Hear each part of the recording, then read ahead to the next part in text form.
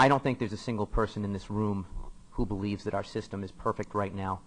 And I don't think there's a single person in this room who believes that most of the goals of the legislation before us are important and should be achieved in some way, shape, or form. But here's my concern. If we really look at the tenets of this bill and what it's meant to do, if we, if we ask ourselves the question, the bill, as we say, will lower cost. The bill will improve access. The bill will bring cost savings to the state of Connecticut. The bill's patient-centered medical homes will revolutionize the way we do healthcare. The final two words to every single statement in this bill are we hope. And without that perfect storm, we are setting ourselves up and the system we intend to improve for failure. We risk system failure because it will crumble under the weight of itself. This bill does a lot in a very short period of time. We are merging programs. We are creating an exchange. We are creating an insurance company, a state-run insurance company, which we intend to enter into competition and in many ways govern itself. We're doing all of that at lightning speed. And I even think it's important that advocates take a step back and look at that. What are we trying to advance? Are we trying to advance the goals of this legislation? Are we trying to achieve savings and improve access? Are we simply trying to advance SustiNET because it's SustiNET? I think we need to look at that. And some of the problems in the existing system that this bill could exacerbate. Very simply, one of the most important that worries me is the silent cost of health care. And that's the cost shift.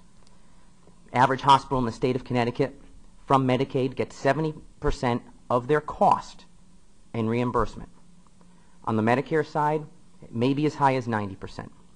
The only thing right now that is keeping Connecticut's hospitals in business is the fact that those costs are shifted to private insurers. The average private insurer in the state of Connecticut pays a hospital anywhere from $1.18 to $1.25, 125% of cost. That is what makes our hospitals whole. This bill risks making that problem worse, is to put more individuals in the state of Connecticut into a government-run program, the savings in, of which can probably only be experienced, will largely be experienced by negotiating lower rates. We, cost, we talk about economies of scale, and that implies that we're going to lower reimbursement rates to providers. If we do that, we make the cost shift worse. And if we follow that to its logical conclusion, there will be no one left to whom we can shift cost. I think we're all hearing it from our local hospitals. It's not sustainable. We cannot continue to reimburse our providers at such low rates through government reimbursement and then bring more patients into the government reimbursement fold and expect the system to work expect access, access to be there. I think we need to take a look at that because I'm very concerned about the unintended consequences on access and on the future of our hospitals if this bill were to pass. The Quinnipiac Chamber of Commerce says this won't lower cost to small business. The Metro Hartford Alliance says we can't afford it. The Middlesex Chamber of Commerce, it's too costly and it's too uncertain. CBIA is concerned about job losses in the insurance industry. By the way, this is the state of Connecticut, and we pride ourselves in the growth of the insurance industry. The Waterbury Regional Chamber says this will lead to job loss. And the National Federation of Independent Business, the organizations whose only job is to protect small businesses, says that this will not lower costs for small businesses. The people we're trying to help, the people to whom we're trying to provide greater access to health care are telling us it won't. That should sound an alarm for us. It should sound an alarm. And yet it appears as though it has not yet done that. Very unfair, but I'm going to do my best to paraphrase Speaker Donovan when he said the goal of SustiNET was to corner the market on patients, on clients, on customers. That doesn't sound terribly competitive to me. I think the reality here is that we are trying to drive patients, as many as possible, as many lives as possible here in the state of Connecticut, to a government-run healthcare system. And some people may be okay with that. I'm concerned because I think we stand at great risk of actually weakening competition in the system. Again, an unintended consequence, but I think a very real possibility, and we should consider that. I have some concerns about the basic health program uh, for a number of reasons. You know, one of them being that the federal legislation envisions, though it does provide a carve out, it envisions that the population of individuals whom we would be serving with the basic, basic health program would actually be moved into the exchange and be put into a competitive environment where they could compete for the lower premiums. Um, that's not what we're choosing to do. We're choosing to create a new government-run program, uh, taking 95% of what the subsidy from the federal government would be. Um, to what end, I'm not sure. I would have to imagine that we're envisioning some sort of savings that can't be realized in the exchange. Um, and my concern, quite frankly, is that it's going to be on the backs of providers. And that is that what we're talking about, while probably something that, quite frankly, is very worthwhile, is not a simple fix. We are talking about essentially reinventing the way physicians' offices provide care no longer are we talking about show up to the office, get treated, and go home. No longer are we talking about the vast majority of clinical resources being, sent, being spent with patients in the office. We're talking about shifting so many of our clinical resources to the management of care.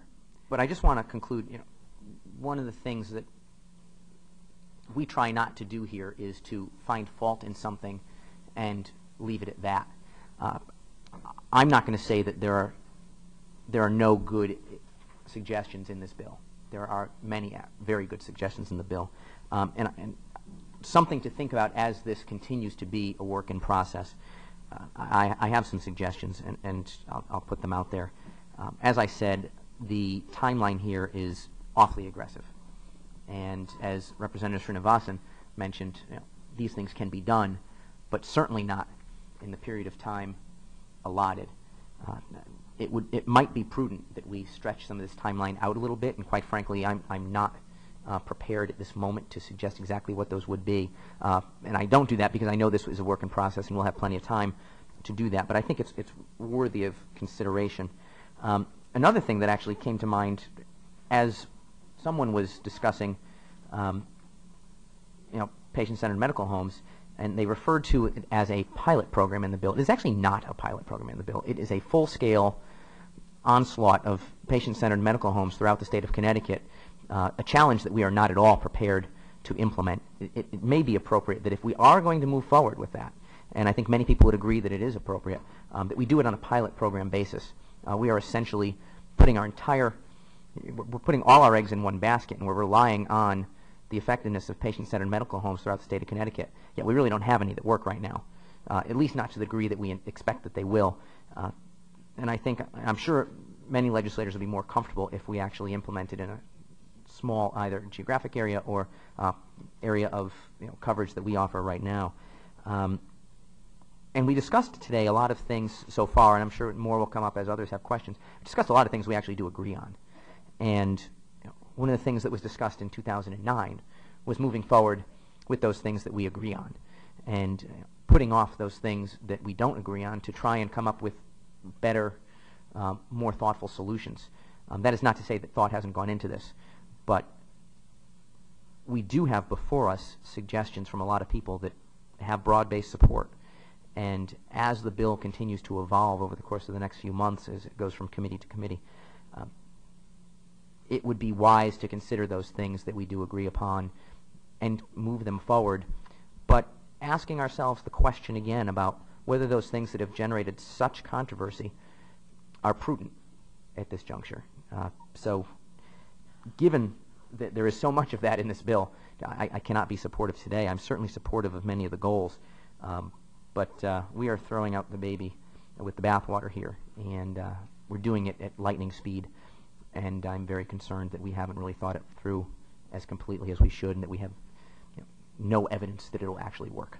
So I thank you for your time.